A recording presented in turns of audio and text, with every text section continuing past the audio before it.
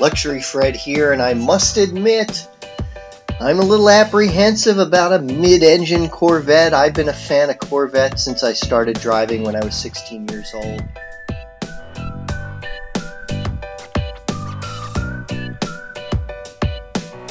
And here it is.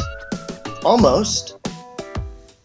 Here is the brand new 2020 C8 Corvette, slightly camouflaged and disguised.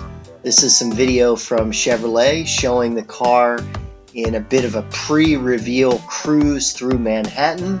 You can get an overall idea of the shape. Uh, again, this is the first mid-engine Corvette, so the engine is right behind the driver and the passenger like a Ferrari.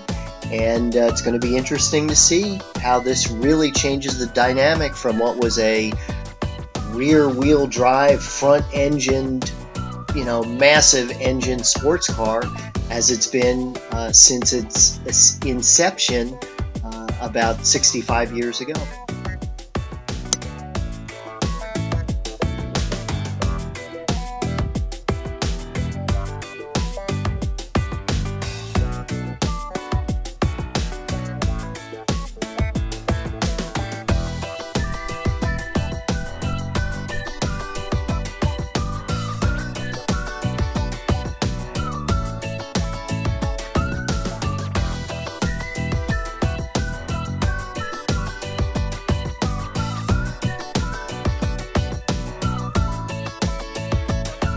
So thank you very much for watching.